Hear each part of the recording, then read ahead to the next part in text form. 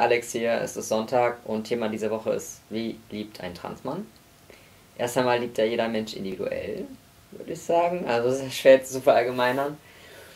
Aber was ja in dem Zusammenhang interessant wäre, ist die Frage, ob sich während der Transition Dinge verändern. Also ob man dadurch irgendwie anders liebt.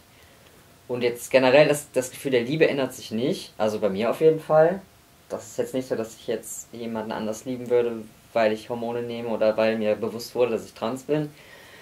Aber in dem Prozess merke ich schon, dass sich das alles halt irgendwie davon beeinflusst wird. Also seit meinem Outing würde ich sagen, kann ich zum Beispiel auch generell besser zulassen, irgendwie Liebe zu Liebe zu geben, Liebe zu erfahren. Also dass ich mich da weniger, ja, weniger querstelle sozusagen.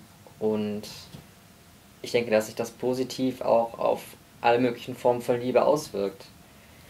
Und ähm, ja, mit den Hormonen ist es ähnlich, ne? Also ich bin jetzt kein komplett neuer Mensch, aber ich erfahre Gefühle schon anders und ich muss sie auch irgendwie anders verarbeiten. Das ist so eine Sache, die man halt im Laufe der Zeit auch lernt.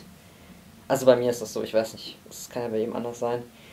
Und das, ähm, ja, genau, das bezieht sich ja dann auch auf alle möglichen Bereiche im Leben. Das ist in, für Beziehungen, egal ob jetzt mit der Freundin oder mit Eltern oder so, das spielt da natürlich mit rein. Und ja, deswegen würde ich sagen, generell das Gefühl der Liebe ist kein anderes, aber wie man Liebe gibt und erfährt und wie man Gefühle, die mit Liebe zu tun haben, wahrnimmt und verarbeitet, das verändert sich schon. Hm. Was man dann auch häufiger hört, ist, dass viele ja auch nochmal so über ihre sexuelle Orientierung nochmal genauer nachdenken können, dann in dem Fall auch, und dann merken, dass sich da was ändert. Und ich meine, das ist ja nochmal, das zieht sich ja nochmal extrem in den Bereich der Liebe rein, weil wenn man merkt auf einmal so, oh, ich stehe doch auf Männer, ich stehe doch auf Frauen oder auf beides, dann verändert das natürlich auch eine Menge. Und das, denke ich, sollte man da nicht unterschätzen.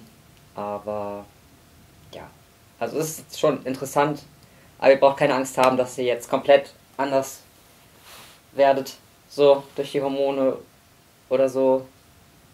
Lasst euch einfach drauf ein. Und ähm, ja, was kann man da für Ratschläge geben?